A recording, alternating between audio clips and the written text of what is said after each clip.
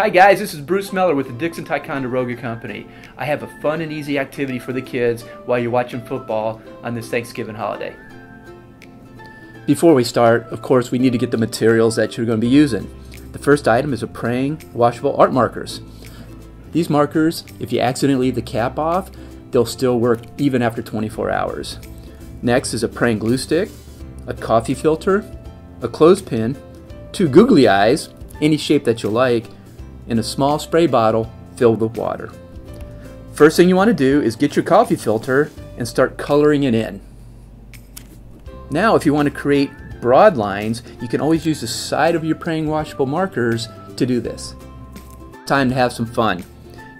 You take the spray bottle filled with water, spray the coffee filter, and this will give you a tie-dye effect. Now it's time to use your googly eyes, take your Prang glue stick, and glue it to the pin. It's time to grab your clothespin. First draw your beak with a triangle shape and your wattle with an upside down heart. Make sure you use the tip of your Prang washable art marker for a fine detailed line. Time to add the clothespin to your coffee filter. All you have to do is use your glue stick and put it on there. For the final touch, choose your favorite fall color of construction paper and paste your completed turkey on the front.